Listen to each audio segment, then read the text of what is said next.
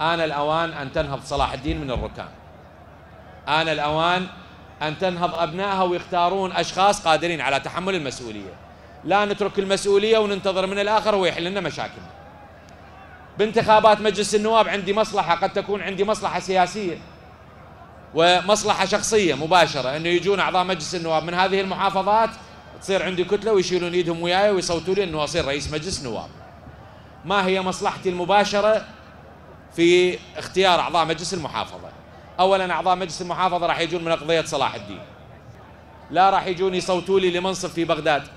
أنا جاي أنا وحزبي وكوادري وتنظيماتي وكل مقدراتنا السياسية جايين فازعين ويا أهل صلاح الدين حتى يفزعون لانفسهم ويختارون شخصيات ملائمة قادرة على إدارة مجلس محافظة صلاح الدين.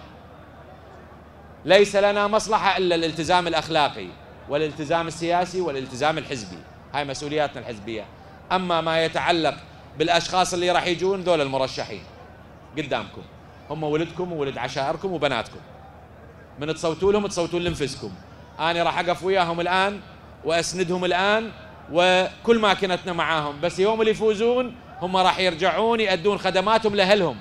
ما راح يجون يدقون طابو قبل رمادي مو مسؤولياتهم. ولا مسؤولياتهم قرار سياسي في بغداد. مسؤولياتهم خدمة أهلهم. مسؤولياتهم توفير متطلبات الحياة الكريمة.